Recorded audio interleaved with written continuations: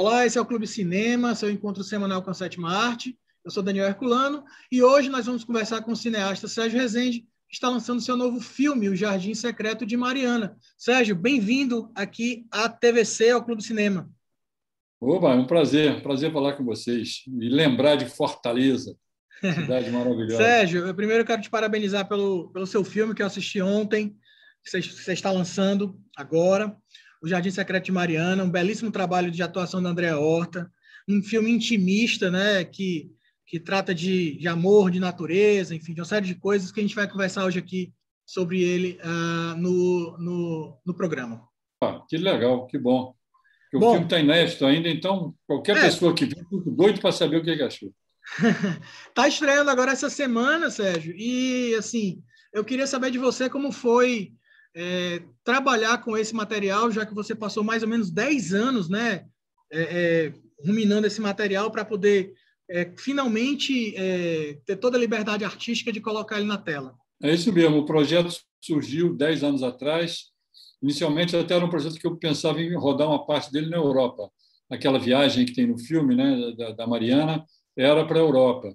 Aí eu fui para lá, inclusive aqueles jardins maravilhosos da Holanda, da, da Provence, na França, uhum. mas voltei para o Brasil, estava difícil de arranjar aquela grana, e o projeto ficou meio adormecido, até que a Érica Iotti, produtora, ressuscitou o projeto. Né? E saiu atrás, a gente adaptou o filme para passar no Brasil, para, filmar no Brasil, para ter um orçamento mais palatável. Né? E depois desses 10 anos assim de espera, eu, o filme foi rodado muito rápido. No final de 2019, a gente rodou o filme em três semanas. Tá. A Andrea estava com muitos compromissos de trabalho na televisão e coisa e tal. Então, foi uma, uma gestação longa, mas depois saiu muito rapidinho. Né? Hum. E aí também ficou pronta a montagem muito rápida, mas aí, em março do, do ano passado, que o filme já estava na bica de ficar pronto, veio a pandemia, paralisou tudo os estúdios fecharam, estúdio de som, de imagem, essa coisa toda, e a gente só pôde retomar esse ano e agora estamos lançando o filme. A gente vai falar um pouco da sua carreira aqui, mas você que já trabalhou com é, produções gigantescas, né, figurantes, enfim, é, como Canudos, que a gente vai falar daqui a pouco, como foi, é, digamos assim, retomar um cinema mais intimista com praticamente duas pessoas em cena, né? É, 90% do tempo a gente tem as duas pessoas em cena, né? O Vaz e a, e a Horta, e, enfim, com algumas participações. Como foi, assim, essa mudança tão diferente, né? Que você já teve um elenco de, com grande figuração e agora ter um, uma coisa mais reduzida. Você acha melhor, você acha pior, não tem diferença? Enfim, como foi essa, essa, essa percepção?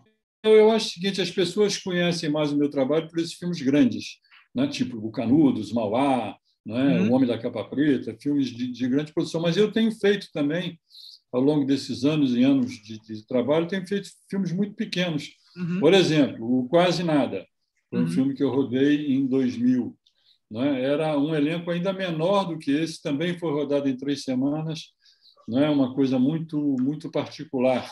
Depois, aí no próprio Ceará, eu fiz o Onde Anda Você, né? Uhum. E, e, com o Juca de Oliveira e tudo, também era um filme, não era uma grande produção, era um filme também mais. É... Então, é, eu, eu, eu gosto né, assim, de, de cinema, né? e eu acho que eu sempre comparo isso um pouco com um negócio de uma orquestra. Né? Uhum. Quem gosta de música, você, por exemplo, regir uma orquestra, pô, é uma coisa maravilhosa. Você quer todos os sons existem. Me dá uma trompa, tem. Me dá um clarinete, tem.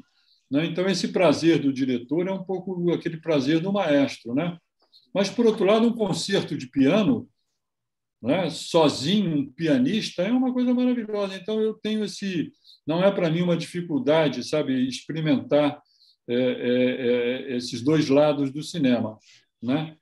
As, os grandes filmes, os grandes épicos e também pequenos filmes intimistas em que você pode se deter mais sobre os sentimentos, mesmo cinematograficamente você encontra uma outra maneira de filmar, e tudo isso me dá muito prazer.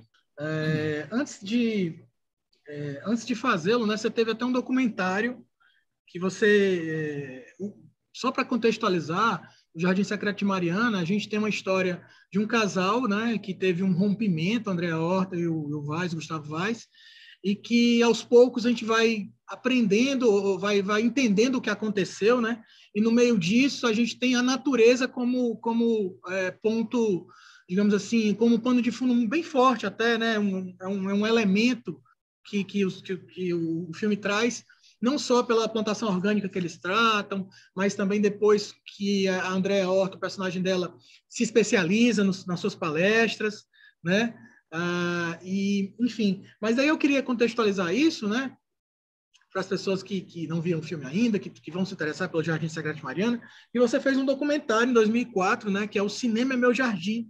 Queria que você falasse um pouco disso, dessa evolução desse documentário para esse filme, né? Também, porque tem esse contexto.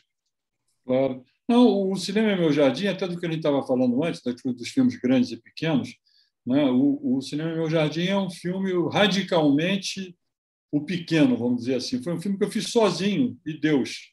Né? Foi, na, é, é, foi quando surgiram as câmeras digitais, aquela coisa toda. Eu comprei uma câmera digital e fiz esse filme sozinho. Eu fotografei, eu até brinco, eu não fotografei, quem fotografou foi o japonês da Sony, né? porque eu botei a, a, a câmera no automático e mandei o pau. Eu fiz o som, eu fiz a produção, né? quer dizer, foi, foi o, o exagero desse pequeno filme. Né? Mas era um filme que misturava, era um ensaio, não digo nem que seja um documentário, né? um ensaio sobre um pouco essa questão da criação, né? da natureza e do cinema.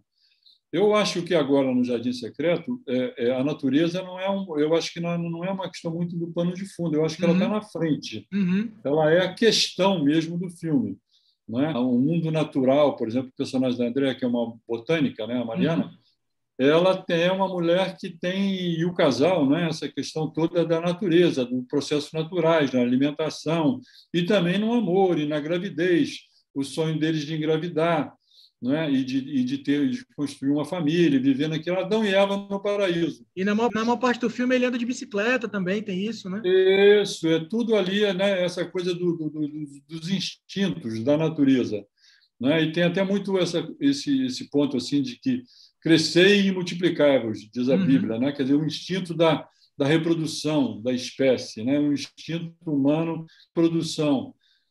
Né? Então, ela e eles que desejam um filho, que desejam loucamente pelos processos naturais, de repente isso eles entram numa encruzilhada, isso não é possível. Né? E eles têm que apelar para outros métodos de concepção, essa coisa toda, o que acaba dando uma, uma tremenda zebra na relação deles. Mas eu acho que aí também tem uma outra discussão um pouco no filme, né? Se o amor não será talvez o maior instinto, né? Se esse nosso pulso de estar com o outro, de compartilhar a vida com o outro, uhum. né? Isso tem tão poderoso na nossa vida quanto o, o, o instinto natural, né? Então eu acho que o filme é um pouco uma uma conversa, não é uma tese, eu não sou professor, o filme não é uma aula, mas é uma discussão um pouco sobre essas coisas muito humanas. Eu queria também que você falasse um pouco uh, do filme. Uh, eu queria destacar novamente a atuação da Andrea Horta. Eu acho que foi até, até bom saber que ela, que ela, que ela, digamos, fez o filme assim em pouco tempo, né? Que ela é, uhum. é, é, o fio condutor, basicamente, do filme, apesar da gente acompanhar o personagem do Gustavo, né? Mas eu acho Isso. que ela, ela é, é, é o cerne da história, né? É dela que, uhum. que parte uma ação que muda a história, é dela que, enfim, e, e, e ela é hipnotizante, é hipnotizante no filme. Para mim, ela, é, na maior parte do tempo, também apaixonante. Enfim, eu queria que você falasse um pouco de dessa dualidade de você ter uma pessoa sem experiência cinematográfica, né? O Gustavo, digamos assim, né? Uhum. E, e da André, que já, poxa, já ganhou prêmio, né? Já fez a Elisa Regina, já fez outros grandes filmes, e é uma atriz uhum. gigantesca. Uhum. É isso mesmo. É, eu não conhecia a Andréa, já tinha admiração por ela há muito tempo, mas eu não conhecia pessoalmente. Eu fui conhecê-la quando ela, ela tem um programa de televisão, né, O País do Cinema, uhum. em que ela é apresentadora. E eu fui lá junto com o Otton Basso no lançamento do Paciente, né, que foi meu último filme. Tancredo Neves. E né? fiquei... É, exatamente. Aí fiquei encantado com a Andréa não é não só pelo talento dela que eu já conheci e tudo, mas pela inteligência dela, pela sensibilidade dela. Eu saí dessa entrevista lá, ela já pensando que era ela, a Mariana, né?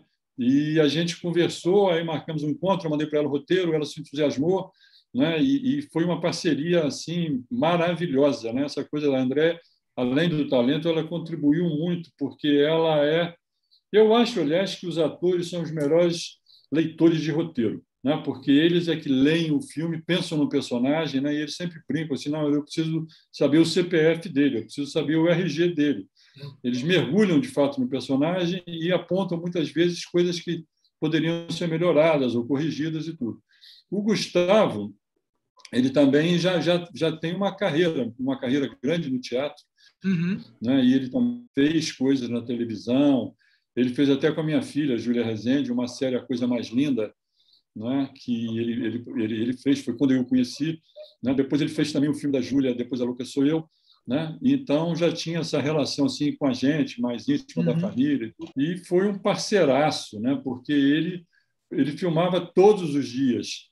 Né? Então, a, a, o filme é um pouco essa jornada dele. Ele estava no set todos os dias. E no dia que, mesmo quando ele não tinha que filmar, a gente filmou fora do Rio. Né? O, o Gustavo mora em São Paulo, mas a gente filmou lá em Iotim, em Brumadinho, e filmou em Friburgo. E quando o dia que eventualmente ele não estava no set filmando, mas ele estava no set acompanhando, ligadaço, e ele se deu hiper bem com a Andréia também, né? E depois ainda teve o um complemento glorioso do Paulo Gorgulho e da Denise Weinberg, que Sim. é uma velha parceira. Duas, duas grandes participações do filme, belíssimas participações, pequenas, é... mas, mas tocantes.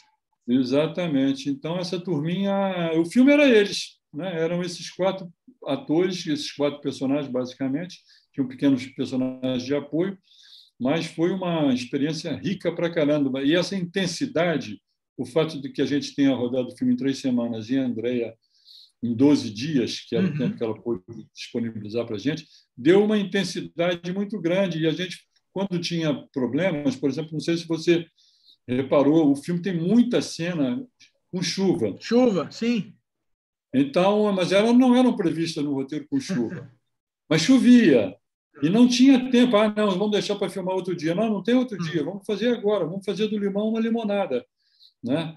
E eu acho que essa inclusive incorporação... um dos diálogos mais importantes, se não mais importante do filme, eles fazem então aquela neblininha assim já para dar chuva, né? Eles já Sim, fazendo ali. E, e, até quem, quem, é, quem tem um certo um certo histórico de cinema e de, de, digamos assim, embates românticos ou dramáticos, já viu outros filmes fazendo isso propositadamente, né? Cenas de chuva com, com, com grandes é, grandes sequências dramáticas e românticas e a chuva truando, e você não, é você naturalmente inclui, incutiu isso no seu é filme. É isso aí. Né? Várias e várias cenas que, que, não é, que choveu e a gente é, improvisou e fez debaixo da cena e mudou um figurino e traz uma capa de chuva e fomos incorporando essas coisas. Eu acho que também e essa presença, assim, eu acho que da chuva no cinema, e nesse filme especificamente, que não está falando de natureza, uhum. é um fato na vida, pô, chove na vida.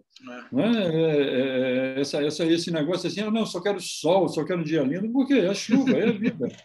Deixa chover. Só para a gente finalizar esse bloco, Sérgio, eu queria que você falasse um detalhe bem importante que acho que pouca gente. Assim, alguém pode ter percebido, mas é importante pontuar. Ela se chama Mariana, e o filme se passa na cidade de Brumadinho, teve... não é Mariana, onde também teve outro desastre. Exatamente. Então, então você junta, digamos assim, os dois nomes, né, dentro da história, ah. com uma história que tem um fundo de natureza, né? Isso, é, isso foi proposital. Diga que foi. Não, não foi, não foi, não foi, não foi, não foi. Não. Na verdade, que como eu te falei lá no começo, quando eu bolei o projeto, eles passavam na, na essa a viagem uhum. não era para Brumadinho, era para a Europa, né? Era para a Holanda, era para uhum. o Kickenhof, aqueles jardins maravilhosos sim, sim. lá. E depois eu não, mas quando eu adaptei o filme para o Brasil, mas a estrutura dramática do filme e o nome dos personagens, essa coisa toda já estava prontinho.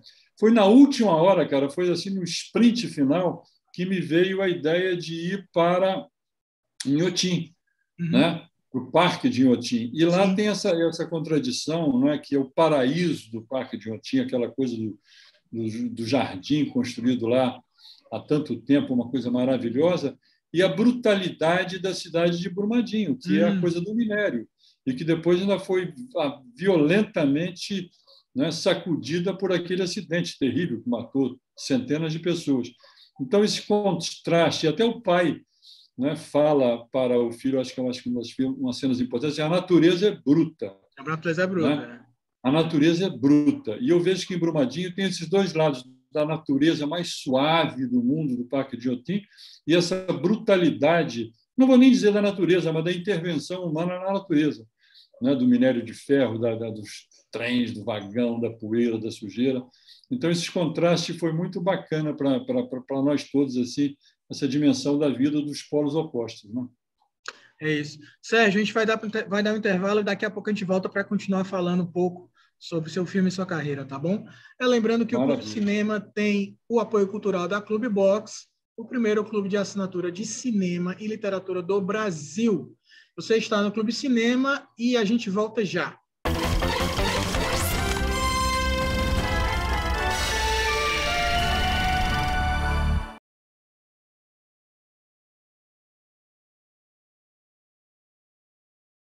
Voltamos com o Clube Cinema, eu sou Daniel Herculano e estamos conversando hoje com o cineasta Sérgio Rezende. Sérgio, é, vamos continuar a conversa. Agora eu quero falar um pouco sobre a sua carreira, tá? É, posso dizer que você é um cineasta experiente, tá? Tem filmes aí desde a década de 80, né, quando estreou com Até a Última Gota, mas quero ressaltar da sua carreira que você fez muitos filmes biográficos, né? É, é eu listei aqui que você fez Lamarca, Mauá, Imperador e o Rei, Zuzu Angel, que eu adoro, adoro Zuzu Angel, adoro demais, demais, demais. Uh, Tancredo Neves, né? E Guerra de Canudos, que foi um sucesso de bilheteria estrondoso, né? É e eu queria que você falasse um pouco disso, desse seu cinema que, vez ou outra, volta a mergulhar aí nos, nos personagens históricos, né? E, e se você pode falar para a gente um pouco como foi o set de filmagem de Canudos também. Rapaz, eu acho que a história do cinema é a história dos, do, do, da, das, das culturas, né? dos países. Se você pega, por exemplo, assim, cinema russo clássico, Eisenstein, né? Uhum. o que, é que ele filmou? Ele filmou a história da Rússia, pô, né? o terrível, está contando a história. Né? Sobre as participações americanas em guerras, a gente vai, quando tinha videoclube, você vai, tinha lá uma prateleira, filmes de guerra, de quais guerras dele. Eles estão contando a sua história. Eu acho que o cinema brasileiro também tem essa tradição muito forte de contar a sua história. Os filmes que têm mais é, acolhida do público é quando a gente faz aqueles filmes que só nós podemos fazer. Quando a gente está contando a nossa história, sejam em filmes como eu fiz sobre política, sobre políticos ou fatos sociais, ou mesmo quando você faz um filme sobre música, não é? Luiz Gonzaga, Cazuza, você está contando a história do Brasil de alguma maneira. Tá novo, que tinha, né, que introduziu o Brasil no cinema brasileiro. Antes do nosso cinema teve, por exemplo, os discípulos da Vera Cruz, que eram melodramas, né? ou as comédias, que também eram reflexo do Brasil, a chanchada. Mas o cinema novo veio com esse olhar sobre o Brasil. Eu fui muito tocado por isso.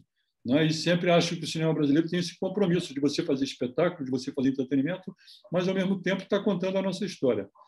Eu acho, eu até você é, esqueceu nessa rememorando os filmes. O primeiro que eu fiz desse foi o Homem da Capa Preta. Desculpa, o Homem da Capa Preta, porque eu vou falar dos filmes premiados também, mas foi o primeiro. Bem. É, exatamente.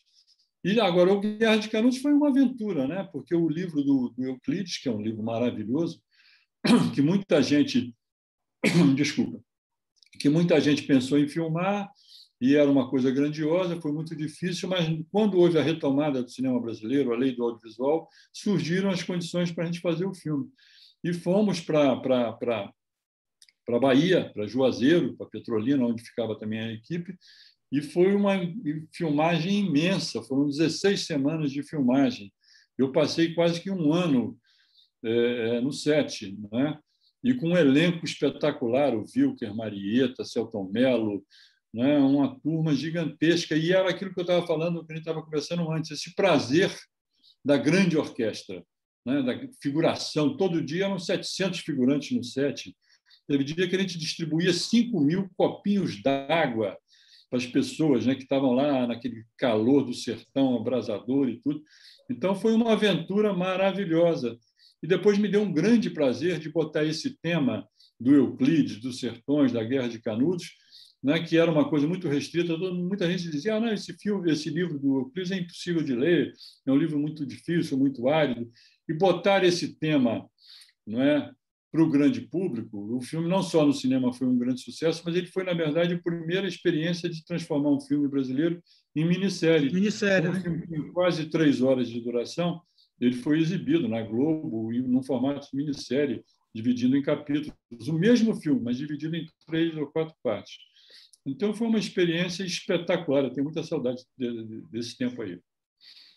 E é, é realmente um filme grandioso, é um espetáculo histórico e, e, visual também, né? Você entrando ali. E, e aí, eu, aí voltando agora para 86, você citou o Homem da Capa Preta, você levou cinco Kikitos, né? No, no Festival de Gramado, uh, com um, um longa-metragem também biográfico. É, o, do que é que você lembra do Homem da Capa Preta? O que é que você mais gosta de falar desse filme? Um filme tão é, forte também na sua carreira, apesar é. de ter é. muitos que eu citei aqui que são que, são, é, que fazem parte da história do cinema?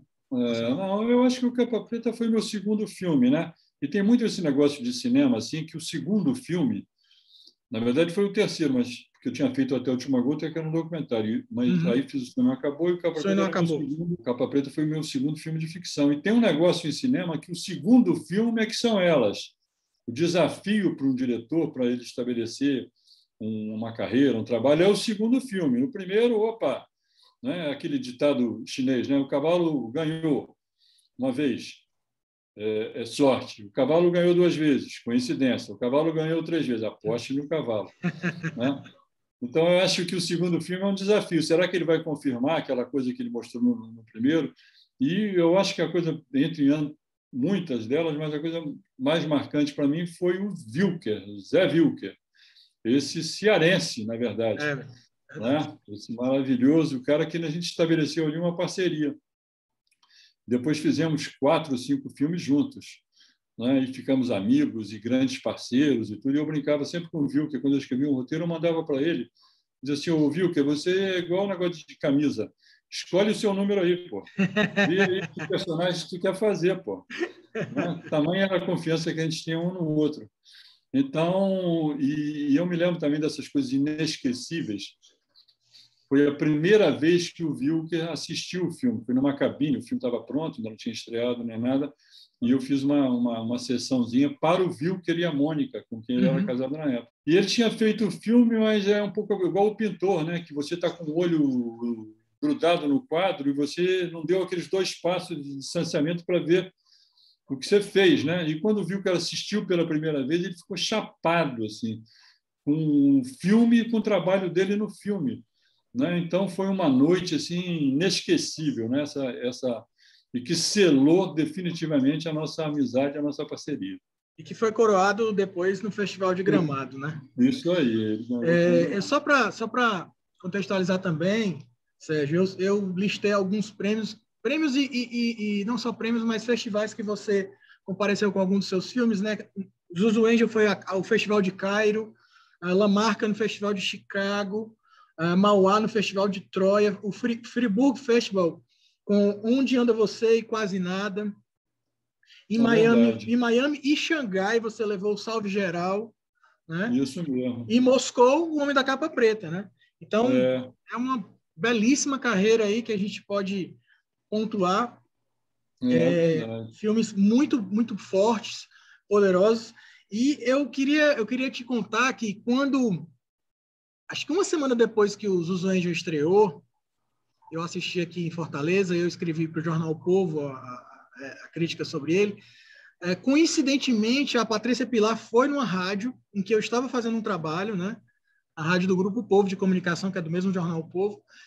Foi ser entrevistada e eu falei, poxa, eu preciso falar com ela porque eu fiquei extremamente emocionado com o Zuzu Angel. E é um filme é, é, com, com tanta minúcia, com tanta, com tanta uh, uh, sentimento, né, que você percebe ali que ela entregou, que é, você você parece que vê a Zuzu Angel ali nela, né, ela procurando filho, ela ao mesmo tempo tentando uh, permanecer com a carreira em alta de moda, né, enfim, um filme extremamente político, mas extremamente sentimental, né? Você, por que, que você pode falar um pouco do Zuzu uhum. Angel para a gente? É, eu, eu essa, essa coisa, eu tive na, ao longo da vida esse prazer de trabalhar com extraordinários atores. Né? Ele estava falando do Vilco, da Marieta, né? e Paulo Betti, um grande parceiro. E Patrícia é uma atriz também, eu acho que tem muito essa coisa assim dos atores, esses que combinam o talento com a inteligência. Né? Então, a Patrícia, e ela tem, além disso, assim, a obsessão pelo trabalho. Ela acordava todos os dias, duas horas antes de todo mundo, e ia para a maquiagem. Né? E não é maquiagem para ficar bonita, mas a maquiagem para essa aproximação com o personagem. Né? Uhum. E ela, uma parte do filme, ela, ela interpreta em inglês, né? E, e, e, então tudo isso assim, essa coisa do esforço do ator, da concentração, né? Foi uma coisa formidável. E tem um pouco, é, outro dia estava pensando sobre isso, porque me fizeram uma pergunta sobre essa questão assim de, é, de temas dos filmes e de uma certa maneira é, é, é esse os usuários o que, que é? é? é a busca de uma mulher por um amor no caso, o filho, não é que já foi morto, mas ela quer pelo menos resgatar o corpo dele. Uhum. De uma certa maneira, embora num universo completamente diferente, o Jardim Secreto Mariana também é isso. É um homem que sai em busca de um amor, né? do resgate de um amor por uma mulher. E eu já fiz assim, vai, me surpreendi que vários dos meus filmes, o Doida Demais, que era um filme com a Vera Fischer. Vera Fischer, 1989. É, e também tinha essa coisa, né? O Wilker era um cara apaixonado, o Noé pela pela pela pela mulher, pela Vera, e ele saía pelo Brasil tentando conquistá-la ou reconquistá-la, até que ela diz a ele uma, uma frase definitiva, assim: deixar de gostar de alguém é uma doença sem remédio, né? Então é um pouco essa coisa dessa busca, né? E eu acho que no final das contas também, né, Daniel? quase que todo filme, quase que toda narrativa é um pouco essa, de alguém em busca de alguma coisa, ou de algo. Uhum. O Tesouro de Serra Madre, é o ouro. Uhum. Não é? Ou filmes em que a pessoa está buscando a si mesma, ou buscando um amor, ou buscando desafios. Eu acho que isso é um traço muito marcante das narrativas e também do cinema. Né? Antes da gente voltar a falar do Jardim Secreto de Mariana, eu queria que você recomendasse para a gente, Sérgio, um filme em mídia física, porque aqui no Clube Cinema nós apoiamos a mídia física. Nosso apoio cultural do Clube Cinema é um clube de, de cinema que envia mídia física todo mês aos assinantes, tá? É, e até antes de você falar a sua dica, eu queria dar a dica aqui da Operação França, não só do 1, um, que é um, um, grande clássico que ganhou o melhor filme e o Gene Hackman o melhor ator, mas também do 2, uma coleção recém, digamos assim, relançada, né, pela Classic Line, uh, em, em, alta definição. Então, a minha dica de hoje vai para o Operação França 1 e 2. Um, o filme Operação França, inclusive, é um dos filmes um, um, que tem uma das maiores cenas de perseguição da história do cinema. Então, assim, se você não viu ainda, por favor, faça esse favor a si mesmo e assista Operação França. Sérgio, a sua dica, por favor. Você gosta de Operação França, Sérgio? Pô, sou louco com ele. Um e dois, espetacular. Espetacular, né? E é essa coisa da busca, né? Ali, no caso, é a busca né? Tem sempre essa coisa da busca. Né? Verdade. Buscar o, traficante, de buscar. Traficante, é. Gene Hackman com sangue é, nos olhos, né? Tentando. É. Enfim. Não, eu adoro esse filme e também sou como você, o cara né, do, do, do amor sólido. Então, eu conto esses tempos do amor líquido, eu sou o cara do amor sólido. E no caso do cinema, eu sou do DVD. Isso. Eu compro o DVD e estou no momento, até numa fase muito boa, porque ninguém quer mais DVD. Né? E os amigos que têm aquela. Já está ocupando muito espaço, agora eu vejo tudo no, no streaming. Hum. Eu digo, dá para cá, pô. Manda para cá. DVD de todo mundo. E, e, eu vou dar a minha dica, vou dar duas dicas, que tem um pouco a ver com tudo isso que a gente conversou, assim, dos grandes filmes e dos pequenos filmes. Não é? E então, e dois filmes feitos mais ou menos na mesma época, com uma pequena diferença de dois anos, um, um filme gigantesco, que eu acho um filme extraordinário, que é esse aqui. Não é? Lawrence da Arábia. É, Lawrence da Arábia. Filmado David Lean filmou esse filme na, no deserto, na, na, lá no 11 meses de filmagem, uma produção gigantesca, mil camadas. Então, um cinema que nem mais é, eu acho que é impossível de você fazer hoje. Hoje tem filmes caros, mas é efeito especial. Isso não é uma coisa real. É verdade. E a outra dica que é o, digamos, o avesso disso, e que também é um filme extraordinário, que é esse daqui, né? Deus e o Diabo na Terra do Sol. O avesso, em termos de produção, do, do, do, do, do filme do David Lean. Um filme pequeno, uhum. uma equipe mínima, feita no sertão baiano, um elenco mínimo, né? aquilo que a gente estava falando, que eu estava dizendo do meu prazer de fazer filmes grandes, e do meu prazer de fazer filmes pequenos. Eu Sim. invejo a Maria ter feito Lawrence da Arábia e Deus e o Diabo na Terra do Céu. Né? Ideia, ideia na cabeça, uma câmera na mão, né? É, é isso aí. E dá filme, né? E se você, e se, e se como eu estava dizendo, assim, o, o Lawrence é um filme quase impossível de você fazer hoje, mas o Deus e o Diabo é totalmente possível. Verdade, né? verdade. Você com talento, com poucos recursos, você vai lá e manda. Né?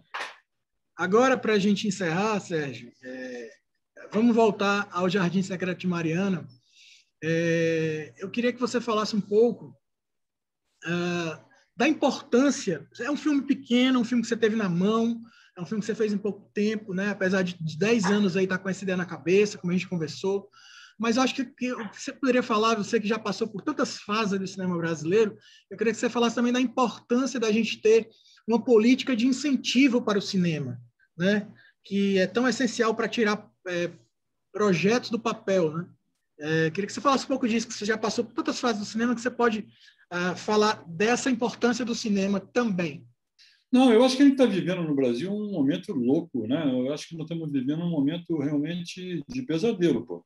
Eu fico outro dia estava pensando assim, por exemplo, o Ministério da Saúde é contra a saúde. O Ministério do Meio Ambiente é contra o meio ambiente. O Ministério da Educação é contra a educação. E o Ministério da, da Cultura, da Secretaria de Cultura, é contra a cultura. Né? Então, você resistiu, a, nós, os brasileiros, você com o capitão do barco, o comandante do barco, querendo que o barco afunde, é um negócio desesperador. Eu acho que o reflexo disso na área da cultura e do cinema foi terrível. Pô. É uma paralisia, por um lado, e mais do que uma paralisia, é um cara de fuzil mandando bala em cima da, dos artistas, né, dos produtores culturais. Eu espero que esse negócio, que esse pesadelo, né, que a gente possa encerrar isso o mais rápido possível. Eu fiz o, o, o, o, Jardim Secreto né, no final de 2019 já estava essa coisa toda meio anunciada, mas a gente pôde reunir os recursos pequenos e fazer o filme. Eu acho que também tem uma coisa um pouco falando assim um pouco de cinema, né? do prazer de, de filmar. Eu acho que eu depois de tantos e tantos longas e tudo, eu estou procurando chegar um pouco à simplicidade, não é a maneira de filmar sem fazer, se fosse falar de futebol, sem ficar fazendo embaixadinha no meio do campo né? Jogar, joga, joga para frente, joga, joga o jogo. Uhum. Né? Então esse filme foi feito todo é, com planos muito compridos, planos longos, muitas das cenas feitas no plano só, deixando os atores conduzirem a narrativa. Né? Isso tem um fato estético nisso, uma maneira de, de uma, uma, uma conversa proposta num ritmo mais sossegado, mas ao mesmo tempo que também que foi o que permitiu a gente fazer o filme com no prazo muito pequeno que a gente tinha, né? Encontrar a simplicidade. E eu acho que isso é uma das coisas que me agrada muito assim no filme, sabe? De dar, não é um filme clipado, corta, corta, corta, corta, corta, corta, vamos, vamos, vamos, vamos, vamos. Dá um tempo. Dá um tempo, é uma conversa de pé de ouvido.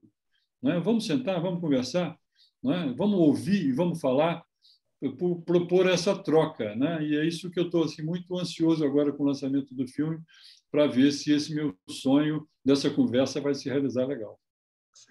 Sérgio, muito obrigado, muito obrigado pelo seu tempo, por estar aqui com a gente no Clube Cinema. É, eu agradeço imensamente a sua presença e desejo toda a sorte do mundo para o Jardim Secreto de Mariana. Opa, é não, o jardim é nosso. Vamos disputá-lo. Valeu, Foi um obrigado. falar com você. Obrigado, Sérgio. Pessoal, esse foi o Clube Cinema dessa semana. A gente conversou com o Sérgio Rezende, está lançando o filme O Jardim Secreto de Mariana. Muito obrigado e semana que vem tem mais.